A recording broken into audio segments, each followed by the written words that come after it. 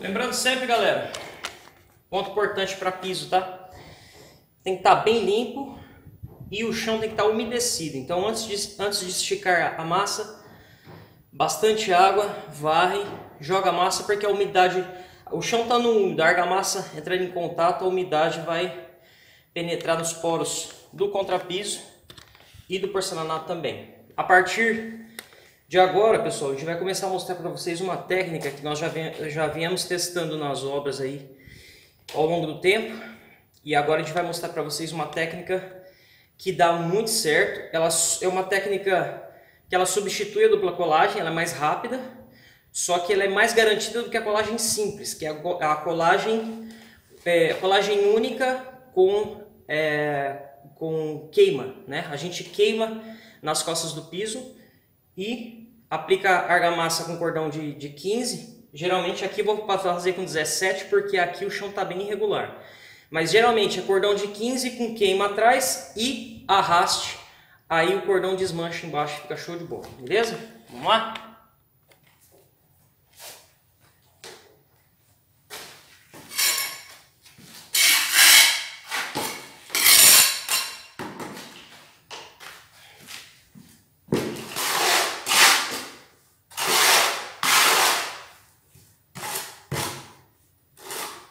Consistência da argamassa, pessoal. A consistência da argamassa não está nem mole, nem dura. Ela está bem, bem macia, tá? Como eu ensinei para vocês no começo do curso, a argamassa não pode ser muito mole porque ela murcha muito. E não pode ser muito dura também, tá? Então ela, aqui é o seguinte, ó, pegou, ela ficou grudada na colher, ela tá macia, mas não cai da colher, é o ponto ideal, beleza? Vamos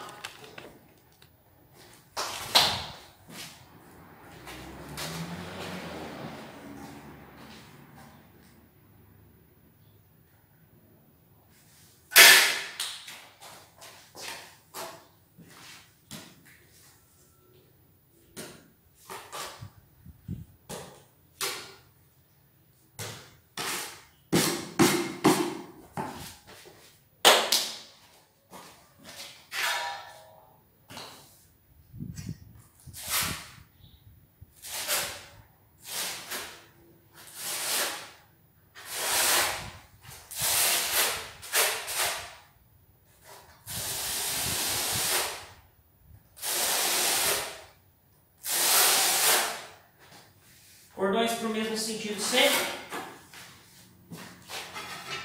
Seta do piso virado para o lado da rua, essa aqui, porque os veios desse piso, pessoal, ele é voltado para lá. Deixa eu pegar uma peça aqui, mas brincadinha. Cantinho quebrado. Os veios do piso voltado para lá.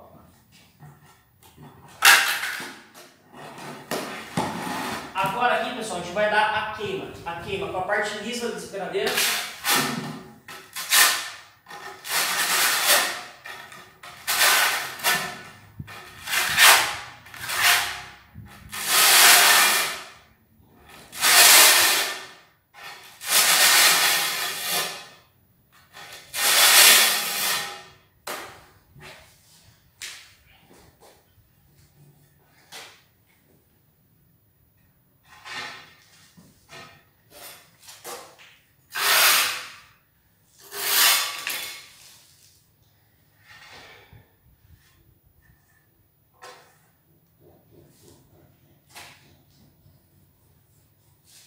Agora a gente arrasta ela, pessoal, esquerda e direita.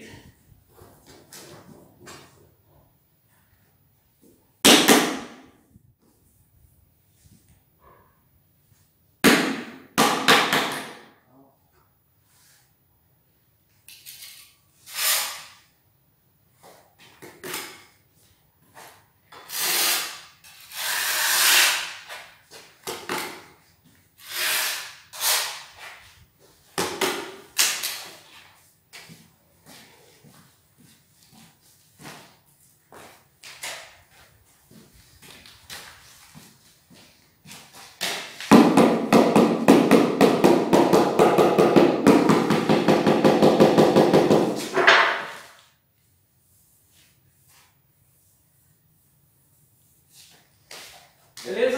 Agora é só ajustar ela na linha.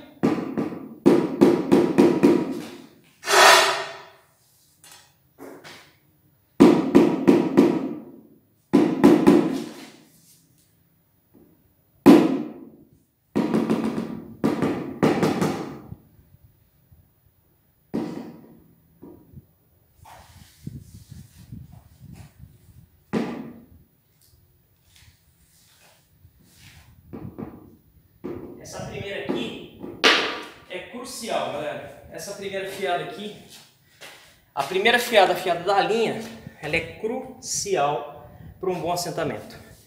Beleza, galera? Agora, mostrar para vocês como é que ficou ela por baixo. Vamos lá ver?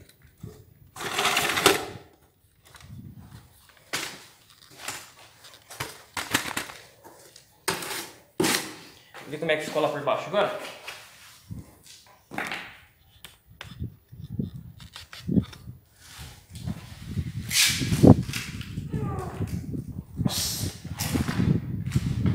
Pessoal,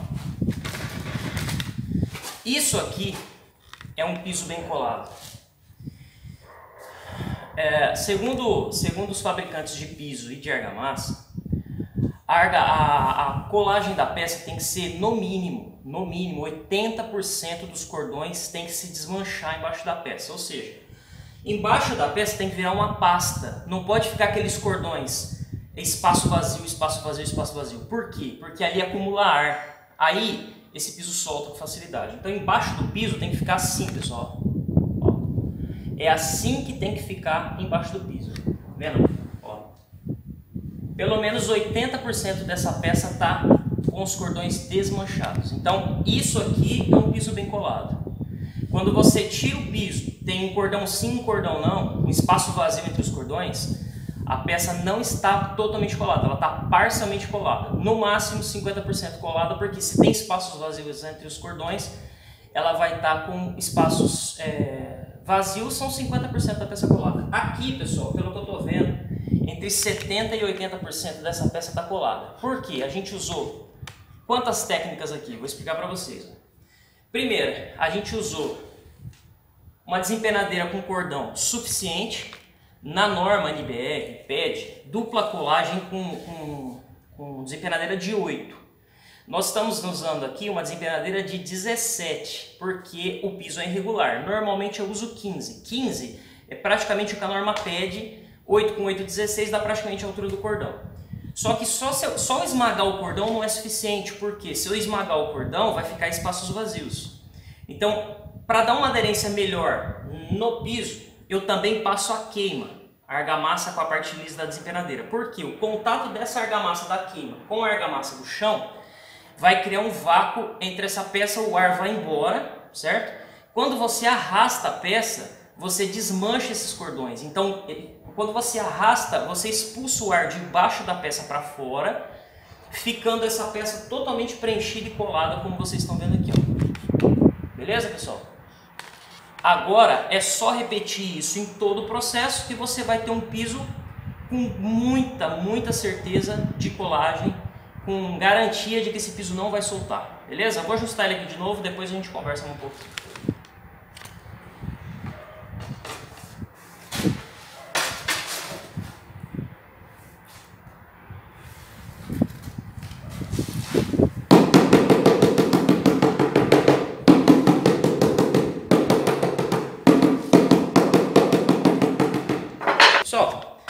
Vou dar uma, uma corrida aqui, uma seguida, um pouco mais, mais rápido. Depois que essa fiada messa estiver pronta, eu vou voltar com uma nova aula aqui, explicando um pouco mais para vocês o processo do arraste, da queima e é, mostrar um pouco mais das técnicas que eu vou usar aqui. Lembrando que aqui na sala eu estou fazendo no método tradicional o uso do tato mesmo, tá? Piso 60 por 60. É, a caixa da Porto Belo, pessoal, ela especifica que é necessário o uso de nivelador para pisos transpassados, tá? Pisos é, com transpasse acima de 15%. Como aqui é um piso junta, junta prumo que nós falamos, né? Alinhamento normal. É, aqui eu não vi necessidade de assentar com o nivelador, só no tato já é o suficiente. Mas lá dentro de um dos quartos eu vou fazer um passo a passo completo com o uso de nivelador nesse piso também. Então, no decorrer dessas videoaulas que, estou sendo, que está sendo gravada aqui, também vai ter um passo a passo com o nivelador, mostrando todos os segredos do uso do nivelador. Beleza, pessoal? Obrigado por mais aí assistirem esse vídeo é, e aguardem as próximas videoaulas aí, beleza? Valeu, galera!